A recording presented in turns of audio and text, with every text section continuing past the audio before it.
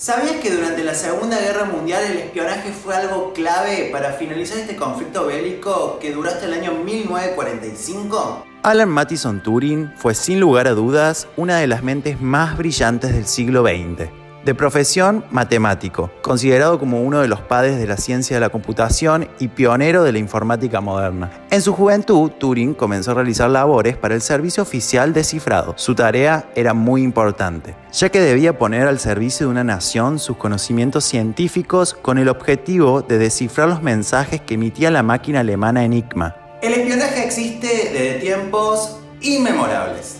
Alan Turing se puso la 10 y se dedicó a descifrar los mensajes nazis de la máquina Enigma. La única manera de resolver estos mensajes encriptados era mediante otra máquina, la bomb, creada por Turing, permitiría localizar a las tropas nazis y así adelantarse a su estrategia durante el pleno desarrollo de la Segunda Guerra Mundial. Las autoridades siempre mantuvieron en secreto las actividades realizadas por Turing y terminada la guerra consideraron a Alan como una amenaza potencial para la seguridad nacional. Se ponía en tela de juicio su vida personal, ya que Turing era abiertamente homosexual.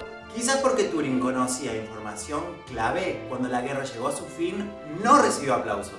Todo lo contrario fueron detrás de su orientación sexual. En marzo de 1952, Turing sería enjuiciado y condenado por conducta obscena debido a que mantenía una relación sentimental con otro hombre. Como parte de su condena, acepta someterse a una terapia hormonal para revertir sus impulsos sexuales. El 8 de junio de 1954, su cuerpo fue hallado sin vida en su casa de Manchester. Había consumido altas dosis de cianuro. Se cree que mediante una manzana envenenada que se pudo encontrar en su mesita de noche.